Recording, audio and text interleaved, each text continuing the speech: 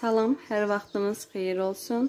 Mən bu gün sizlərlə kotlet resepti bölüşmək istəyirəm.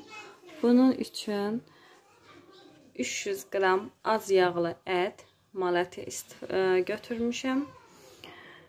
4 orta boyda kartof, 3 orta boyda soğan, 1 çay qaşığı quru nanə, 1 yumurta, 1 qusok çörək, yarım çay qaşığı qara istiyot və bir çay qaşığı duz gedir kotletimizə.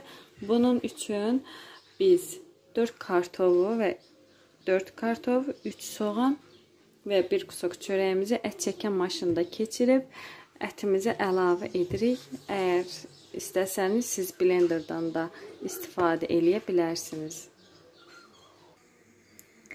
Ətimizi çəkdik və bir çay qaşığı quru nanə, yarım çay qaşığı qara istiyot və bir çay qaşığı duz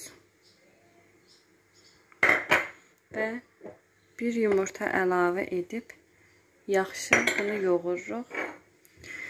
Onu da nəzərinizə çatdırmaq istəyirəm ki, əti ət çəkən maşınından 2 dəfə çəkin. Onda kotletiniz çox gözəl, çox yumşaq alınır. Mən də ətimi çəkdim, kartofu, soğanı və çörəyi çəkəndən sonra ikinci dəfə ət çəkən maşından çəkdim. Və mən kotletlərə forma verdim. Uzun sof forma verdim. Siz əgər istəyirsinizsə, e, yumru formada eləyə bilərsiniz öz zövqünüzə görə. Və bunu mən una bal ə, e, una batırıb qızmış tavamıza qoyub qızardırıq. Və tavanı əvvəlcədən isidin, yağ əlavə edin, una batırıb, hər tərəfli iki yüzünü də una batırıb tavada qızardırıq. Kotletləri qızartmaq üçün mən 3 xörək qaşığı undan istifadə edirəm.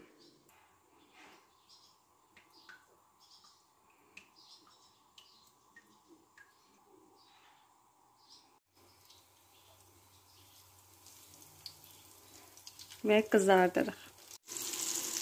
Gördüğünüz kimi kotletlerimiz kızarır.